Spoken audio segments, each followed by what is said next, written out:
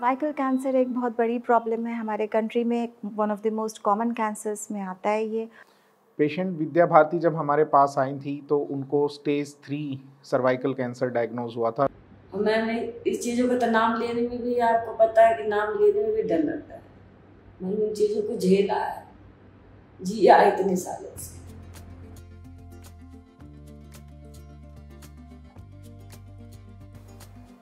जिन patient की हम आज बात कर रहे हैं, उनका नाम मिसेस विद्या भारती है। उनकी उम्र 46 इयर्स ओल्ड है और वो दिल्ली से बिलोंग करती हैं। उन्हें सर्वाइकल कैंसर डायग्नोज हुआ था और वो इसी के साथ हमारे पास नवंबर 21 में आई थी। जिस वक्त वो आई थी, उनको काफ़ी डिस्ट्रेसिंग कंप्लेंट्स थी। वो उनकी डे टू डे एक्टिविटीज़ काफ़ी इम्पेयर थी और वो काफ़ी सिम्टोमेटिक थी। अपना इलाज वो दिल्ली के हॉस्पिटल्स में करा के आई थी। काफ़ी सारा इलाज हुआ था उनका और काफ़ी ख़र्चा भी हुआ था। इन टोटल पूरी फैमिली और वो इमोशनली और फाइनेंशियली काफ़ी डिस्ट्रॉट थे और उन्हें कोई फ़ायदा भी नहीं हुआ। इस पूरे ट्रीटमेंट प्रोसेस में उनकी बीमारी जो है वो बढ़ती चली गई और उन्हें कोई रिलीफ नहीं मिला। नवंबर 21 में हमने उनका इलाज डेनवैक्स ट्रीटमेंट के साथ शुरू किया और ग्रेजुअली उनको धीरे धीरे करके उनके सिम्टम्स जो थे वो रिज़ॉल्व करने लगे। जिस वक्त वो आई थी, उनकी चीफ़ कंप्लेन जो थी, वो पेन था जो पेल्विक एरिया में था लोअर एब्डोमिनल एरिया में। साथ में उन्हें ब्लड लॉस रहता था और उनको वीकनेस थी। साथ में उनको यूरिनरी कंप्लेंट्स भी थी वेट लॉस भी था और ओवरऑल वो काफ़ी डिस्ट्रेस में थी। डेनबैक्स ट्रीटमेंट के स्टार्ट करते ही उनको काफ़ी इम्प्रूवमेंट मिला। उनके सिम्टम्स जो हैं वो धीरे धीरे करके रिज़ॉल्व होने लगे और उनको बहुत अच्छी फीलिंग आने लगी। सबसे पहले उनका पेन रिजॉल्व हुआ, फिर ब्लीडिंग भी स्टॉप हो गई। उनकी यूरिनरी कॉम्प्लिकेशंस थी, जिसके लिए वो काफ़ी परेशान रहती थी, वो भी ख़त्म हो गया। और उनकी और जो कंप्लेंट्स थी, वो भी रिजॉल्व हो गई। पेट सीटी उनके दो हो चुके हैं अब तक और एक साल के गैप पे हुए और दोनों पेट सीटीज़ ये दिखाते हैं कि वो कम्प्लीटली डिज़ीज़ फ्री हैं और वो उनकी डिज़ीज़ पूरी तरह रिजॉल्व हो गई है। जस्ट रिसेंटली वो हमारे ऑफ़िस में आई थी और हमसे मिलकर गई और उनकी बहुत ख्वाहिश है कि हम आपसे उनका मैसेज कन्वे करें। वो और उनकी बेटी अपना एक्सपीरियंस शेयर करेंगे, कैसे उनका कैंसर में जर्नी रहा और उनका, उनको कैसे रिस्पाइट मिली डेनमैक्स ट्रीटमेंट से। कैंसर था बच्चेदानी में ऐसे हिंदी में बोल रही बच्चेदानी में मेरे था कैंसर। मगर मुझे कई परेशानी से उस टाइम जूझ रही थी, कैंसर से ज़्यादा टूट गए थे। और मैंने इस चीज़ों का तो नाम लेने में भी आपको पता है कि नाम लेने में भी डर लगता है। मैंने उन चीज़ों को झेला है, जिया इतने सालों से। मुझे बहुत दिक्कत हो गई थी, मैं बिल्कुल मेरे से कुछ नहीं हो पाता था, मैं उठा नहीं जाता था मुझसे। हमने कई जगह इलाज कराया बी एल कपूर में भी इलाज कराया। वहाँ से मैं आराम नहीं मिला। कंडीशन थी मेरी। उसको मैं कह नहीं पा यहाँ आने के बाद मुझे विश्वास हुआ कि अभी भी अगर भगवान है तो किसी के रूप में है धरती पे। हमने अपने सब कुछ बर्बाद कर दिया। तो पहली कि जब सर से मिले सर से बात हुई, सर ने हमें देखा तो हमें उन्होंने विश्वास दिलाया कि आप बिल्कुल ठीक हो जाओगे। इलाज से मैं इतनी ठीक हूँ, मेरे परिवार ने तो उम्मीदें छोड़ दी अब जीने का मुझे मकसद मिल गया कि हाँ मैं अब ठीक हूँ, बिल्कुल हूँ, कोई दिक्कत नहीं, कोई परेशानी नहीं मुझे। मेरे को ये प्रॉब्लम थी 2020 से प्रॉब्लम थी मतलब पहले तो मम्मी को ब्लीडिंग शुरू हो गई और उसके बाद मम्मी की तबीयत अचानक से वेट लॉस होने लग गया, सारी चीज़ें होने लग गई। उठा नहीं जाता था उनसे, जब पता चला तो सी ए सर्विक्स को थर्ड स्टेज पे थर्ड पी का था। और हम डर गए, मेरे को तो पहले पता भी नहीं था।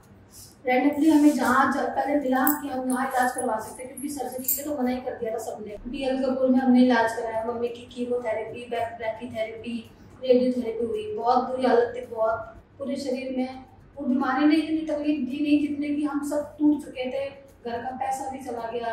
हर एक चीज़ से हम परेशान थे। ऊपर से उनके पैनिक जो हो जाते थे, वो उनको संभालना आसान नहीं था हमारे लिए। फिर उसके बाद एक दिन जब हम मिलने आए, उसके बाद मम्मी को लेके आए तो मम्मा रोने लग गए। डॉक्टर रमन सर थे। सब लोग वहाँ पे थे। इतना अच्छा रिस्पॉन्स करते हैं सब यहाँ पे। इतना अच्छा रिस्पॉन्स करते हैं। लगा ही नहीं कभी कि बाहर कभी इलाज करा रहे हो जिस हालत में हम आए थे ना यहाँ पे, जैसे हमारी तकलीफ़ थी ना, मैं मैं नहीं मान सकती थी लेकिन सर ने बोला कि तुम चिंता मत करो। मम्मी ठीक हो जाएगी तुम्हारी। सबने सबने सबने यही बात मम्मी को भी नहीं लगता था कि वो ठीक हो जाएगी। सर ने पहले वीडियो कॉल पे भी बात करी थी घर से। फिर वो आए। हम यहाँ पर आए, मिले। इलाज शुरू हुआ। यहाँ पे इम्यूनोथेरेपी दी। लाइट की मूवी लाइट की मूवी दिया उन्होंने। और सर आगे इतना अच्छे से एग्जामिन करते हैं, कोई ऐसा कोई भेदभाव नहीं, लोग बीमार लोगों को टच करने से दूर भागते हैं ना, सर ने से हाथ लगा के ऐसा अपनों की तरह टच कर दिया आज सर ने हमें बता दिया कि आप बिल्कुल ठीक हो और हम ठीक हैं, आगे भी हम कहते हैं कि जिसको किसी को भी हो तकलीफ़। बस आप लोगों को कॉन्टैक्ट करें, आप लोगों से बात करें, वो ज़रूर ठीक पेशेंट विद्या भारती जब हमारे पास आई थी तो उनको stage three cervical cancer diagnose हुआ था और उसके लिए उन्होंने रेडिएशन ट्रीटमेंट कंप्लीट किया था। और जब रेडिएशन कंप्लीट होने के बाद नवंबर 2020 में जब वो हमारे पास आए तो उनके पेट स्कैन और एमआरआई में रेजिडुअल डिज़ीज़ लेफ़्ट थी, जिसके लिए डॉक्टर ने उन्हें सर्जरी टोटल हिस्टेक्टमी एक ऑप्शन होता है, जिसमें यूट्रस सर्वाइकल पार्ट सब चीज़ों को रिमूव कर दिया जाता है। उसके लिए एडवाइस किया था बट पेशेंट सर्जरी करवाने के लिए काफ़ी रिलेक्टेंट थे। वो नहीं चाहते थे कि सर्जरी हो, और उसके लिए फिर हम फर्दर ट्रीटमेंट के लिए उन्होंने हमसे अप्रोच किया। जब हमने उनकी इनिशियल इन्वेस्टिगेशंस देखी तो उसमें जो रेजिडल डिज़ीज़ था, वो स्टिल पैरामीट्रियम को इन्वॉल्व किया हुआ था और उनकी डिज़ीज़ स्टेटस स्टेज थ्री में ही थी। तो हमने उनको डेंडाइटिक सेल थेरेपी का ट्रीटमेंट शुरू किया। इनिशियल थ्री मंथ्स में उन्होंने, जैसे आप सब जानते हैं, हमने six doses dendritic cell therapy दी, जिसमें हमने फ़र्स्ट थ्री डोजेज़ के साथ नैपैक्लीटेक्सल हमारी कीमोथेरेपी का ड्रग होता है, उसका यूज़ किया, साथ में बेवासीजुमैब यूज़ किया। और जब थ्री मंथ्स कंप्लीट हुए और हमने एमआरआई और पेट स्कैन को रिपीट किया तो स्टिल उनकी डिज़ीज़ जो है वो स्टेबल थी, बड़ी नहीं थी बट स्टिल एक्टिव थी। और उस समय उनका एस यू मैक्स स्कोर जो था, वो सिक्स के रेंज में था कि residual active metabolic disease suggest कर रहा था। उसके बाद हमने उनको जो है simple dendritic cell therapy IV infusion में प्लस इंट्रालीजनल डेंडाइटिक सेल्स उनको लगाया, जो सर्वाइकल रीजन में जो उनका लीजन दिख रहा था, वहाँ पर हमने लोकली वो डोजेज लगाई और ये अप्रोच हमने नेक्स्ट थ्री मंथ्स तक कंटिन्यू किया, जिसमें स्टार्टिंग में हमने उनको डेली बेसिस पे वो इंजेक्शंस लगाए और उसके बाद वीकली इंटरवल्स पे वो इंजेक्शन रिपीट किए। और सितंबर 2021 में जब हमने उनका एमआरआई और पेट स्कैन रिपीट किया तो उसमें कोई एक्टिव डिज़ीज़ नहीं थी। पेशेंट बिल्कुल ठीक हो गए थे, उनको हमने फर्दर फॉलोअप के लिए कंटिन्यू रखा। इस दौरान उनको जो डिज़ीज़ था वो उनके ब्लैडर पे प्रेशर डाल रहा था और किडनी पे भी प्रेशर डाल रहा था, जिससे उनको फ्रीक्वेंट फ्रीक्वेंटली यूरिनेशन की प्रॉब्लम रहती थी और उस चीज़ में उन्हें कोई खास इम्प्रूवमेंट नज़र आ नहीं रहा था। तो उन्होंने ब्लैडर सर्जरी करवाई, जिसमें हमने सर्जन ने उनके ब्लैडर को एक्सपेंशन सर्जरी की और उनकी कैपेसिटी को इम्प्रूव किया, जिससे उनकी वो प्रॉब्लम सॉल्व हो गई। और उसके बाद भी हमने उनको मंथली इंटरवल्स पे दो डेंडाइटिक सेल थेरेपी के इन्फ्यूज़न सर्जरी के बाद तुरंत किए। और अभी सितंबर 22 में जब हमने उनका पेट स्कैन रिपीट किया एक साल के बाद तो अभी भी कोई वाइबल एक्टिव डिज़ीज़ उसमें लेफ़्ट नहीं है और पेशेंट बिल्कुल ठीक हैं, उनको किसी तरह की कोई सिम्टम्स नहीं है। तो हमारा इस केस के थ्रू आपको ये बताने का पर्पज़ है कि इम्यूनोथेरेपी एक बहुत इंपॉर्टेंट एस्पेक्ट है। आपके ट्रीटमेंट का कैंसर के अगेंस्ट जो आपकी फ़ाइट है, उसको कंप्लीट करने का बहुत इंपॉर्टेंट है। सर्जरी कीमो रेडिएशन का अपना रोल है और इम्यूनोथेरेपी का अपना रोल है। और हम आपको अपने चैनल के माध्यम से यही एजुकेट करते हैं कि इम्यूनोथेरेपी को जब आपको पता चले अनफॉर्चुनेटली कि किसी फैमिली मेंबर को ये डिज़ीज़ डायग्नोज हुई है तो हमें at the time of diagnosis he immunotherapy को अपना ट्रीटमेंट प्रोटोकॉल में इंड्यूस करके चलना चाहिए, ताकि एंड रिजल्ट्स जो हैं वो लंबे समय तक हमारे पॉजिटिव आएँ। मिसेस विद्या भारती बिल्कुल ठीक हैं, उनका पेट सीटी जैसे बताता है, बिल्कुल कंप्लीट रेजोल्यूशन ऑफ़ डिज़ीज़ है, वो एसिम्टोमेटिक भी हैं, और वो बहुत अच्छी फॉर्म और शेप में है। वो बिल्कुल ठीक हैं, और अपनी डे टू डे एक्टिविटीज़ बिल्कुल नॉर्मल पर्सन की तरह करती हैं और बहुत खुश हैं इस पूरे ट्रीटमेंट प्रोसेस से। डेनवैक्स ट्रीटमेंट एक बहुत सिंपल और सेफ़ ट्रीटमेंट प्रोटोकॉल है। उसमें कोई एडवर्स इफ़ेक्ट्स नहीं होते हैं। पेशेंट्स को कोई टॉक्सिसिटी नहीं होती, ना हेयर लॉस होता है वेमेन को और ना ही कोई उसके एसोसिएटेड कॉम्प्लिकेशंस हैं। उसको हम किसी भी ट्रीटमेंट के साथ ऐड कर सकते हैं। वो बेसिकली एक एडजुवन ट्रीटमेंट की तरह एक्ट करता है और उसको एक कॉम्बिनेशन अप्रोच में भी दिया जा सकता है। इस पर्टिकुलर केस में मिसेस विद्या भारती के केस में हमने उनको स्टैंड अलोन ट्रीटमेंट के लिए, की तरह दिया। थोड़ी सी कीमोथेरेपी हमने इनिशियली दी थी और फिर उसके बाद वो भी बंद कर दी। और अभी वो बिल्कुल डिज़ीज़ फ्री हैं, उनको कोई ट्रीटमेंट नहीं चल रहा है और हमने उनको सिर्फ़ अपने ऑब्जर्वेशन में रखा है। सर्वाइकल कैंसर एक बहुत बड़ी प्रॉब्लम है हमारे कंट्री में one of the most common cancers में आता है ये। ये बेसिकली एक गायनोकोलॉजिक मेलिग्नेंसी है जो औरतों में होती है एडल्ट फीमेल पॉपुलेशन में होती है। और ये कैंसर जो होता है मोस्टली साइलेंट होता है इनिशियली और ये मोस्टली जब भी पता चलता है, जब डिज़ीज़ कुछ एडवांस या प्रोग्रेस कर चुकी होती है।